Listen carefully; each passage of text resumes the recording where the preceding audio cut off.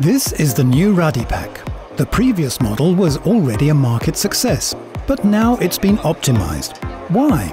Because users are placing ever higher demands on control and energy efficiency.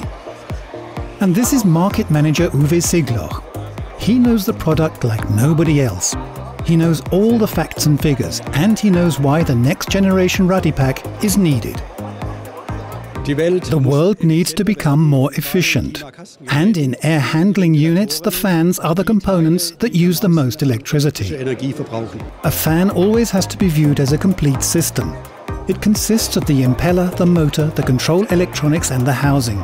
So all components, from the electrical connection to the impeller outlet and even the way it is installed in the air handling unit, were taken into consideration during the optimization process.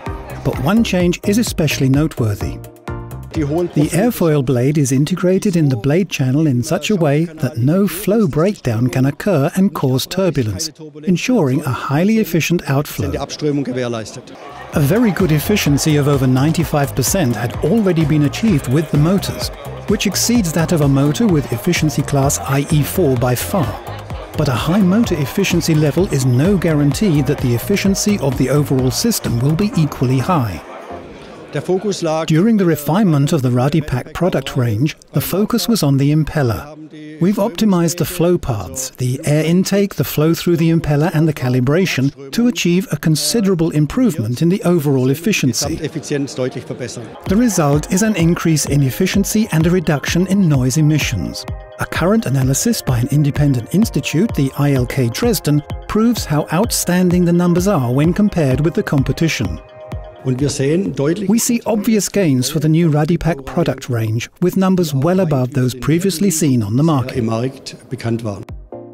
Now, as planned since 2010, the RadiPac will be replaced by its successor, which ought to set new standards in ventilation technology. The new RadiPac offers many benefits for users, as shown in striking presentations at the trade fair. Turbulence arises in the fan's intake area due to the confined space in which it's installed. The special flow grid air inlet grill is available as an option. It has a straightening effect on the inflowing air and drastically reduces flow disturbances that cause noise. The inlet nozzle was redesigned to perfectly match the impeller with its aerodynamically optimized blade channel. The new aluminium airfoil blades increase the efficiency by reducing the weight of the impeller. Pressure losses at the inlet were further reduced and the outflow behavior was improved.